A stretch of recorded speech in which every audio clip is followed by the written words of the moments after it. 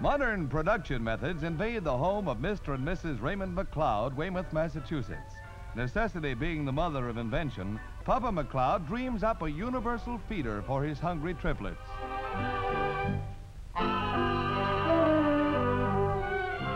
There's pie in the sky and no ration points needed. And Doreen, David, and Donna Lee McLeod appreciate Pop's ingenuity. one day they'll be big enough for beefsteak and mink coats. And then Papa'll really have to get busy.